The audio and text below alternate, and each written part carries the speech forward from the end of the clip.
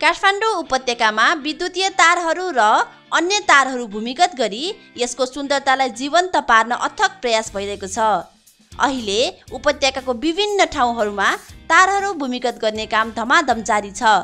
आज यही विषयमा केन्द्रित रहँदै विभिन्न ठाउँमा हुँदै गरेका तारहरू भूमिगत गर्ने काम देखाउन गइरहेका छौँ। हामीसँगै रहनुहोला। विद्युतीय तार भूमिगत गर्ने काम पहिलो चरणमा रत्न पार्क र महाराजगञ्ज वितरण केन्द्रको क्षेत्रमा भइरहेको छ। यो क्षेत्रमा धेरै ठाउँहरूमा पाइप जमिन मुनि ओछ्याउने काम सकेर विद्युतीय तारहरू जमिन मुनि राख्ने काम बुढानी कण्ठ क्षेत्रमा हुँदैछ अहिले कोटेश्वर क्षेत्रमा पनि तारहरू जमिन मुनि राख्ने काम सुरुवात गरिँदैछ। अनुमानित सात अर्बको यो परियोजना सन् दुई हजार एक्काइसको अक्टोबरसम्म सक्ने लक्ष्यका साथ काम अगाडि बढिरहेको छ। यो कामको ठेक्का भारतीय कम्पनी केइआई इन्डस्ट्रिज लिमिटेडले पाएको छ।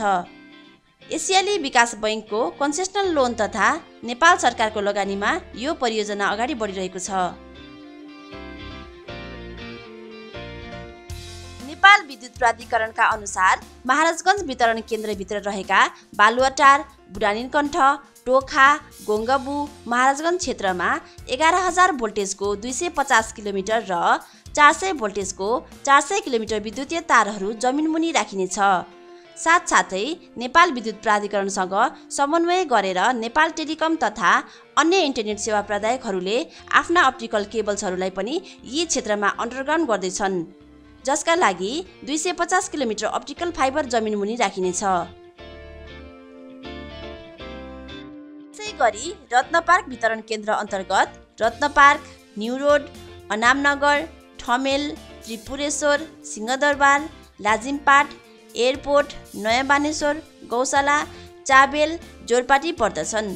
यहाँ एघार हजार भोल्टेजको दुई सय किलोमिटर र चार सय भोल्टेजको चार सय किलोमिटर विद्युतीय तार भूमिगत गरिनेछ भने दुई सय किलोमिटर अप्टिकल फाइबर पनि भूमिगत गरिनेछ।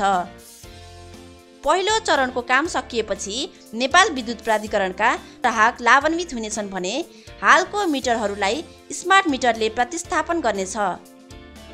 होरिजेन्टल ड्रिलिङ मेथडबाट भइरहेको यो काम गर्दा बाटोको सतहमा खन्नु पर्दैन जसले बाटोमा पर्न जाने नोक्सानलाई कम गरेको छ भने धुलो उडेर वायु प्रदूषण बढेको पनि छैन। यो आयोजनाको उद्घाटन प्रधानमन्त्री केपी शर्मा ओलीले गर्नुभएको थियो। नेपाल विद्युत प्राधिकरणका तत्कालीन कार्यकारी निर्देशक कुलमान घिसिङले नेपालमै पहिलोपटक भइरहेको यो विद्युतीय तार भूमिगत गर्ने काम यहाँ पछि ललितपुर भक्तपुर पोखरा भरतपुर मोरङ र झापामा पनि चरणबद्ध रूपमा अघि बढाइने जानकारी उद्घाटनको क्रममा दिनुभएको थियो। विद्युतीय तारसँगै अप्टिकल फाइबर पनि भूमिगत गरिने भएपछि छरपष्ट काठमाडौँका बाटो छेउ फिजिएर यो सांस्कृतिक सहरलाई नै कुरूप बनाउने विद्युतीय तार टेलिफोनका तार तथा इन्टरनेट लगायतका तारहरू भूमिगत गरी सहरलाई सुन्दरता प्रदान गर्नेछ। विद्युतीय दुर्घटना जोखिमहरू कम हुनेछन् विद्युत चुहावट घट्नेछ साथै विद्युत वितरण पनि अहिलेभन्दा धेरै व्यवस्थित हुने बताइएको छ। तपाईँहरूलाई यो भिडियो सामग्री कस्तो लाग्यो? यहाँहरूको सल्लाह सुझाव तथा प्रतिक्रिया कमेन्ट बक्समा लेख्नुहोला। तपाईँले यस च्यानललाई सब्सक्राइब गर्नुभएको छैन भने हामीलाई सब्सक्राइब गरेर साथ दिन अनुरोध गर्दछौँ। साथै यो भिडियो मन परेको छ भने लाइक अनि सेयर गर्न पनि नछुटाउनुहोला। हामीलाई यहाँसम्म साथ दिनुभएकोमा धन्यवाद। वर्तमान वैश्विक महामारीको अवस्थामा सुरक्षित रहनुहोला स्वस्थ रहनुहोला।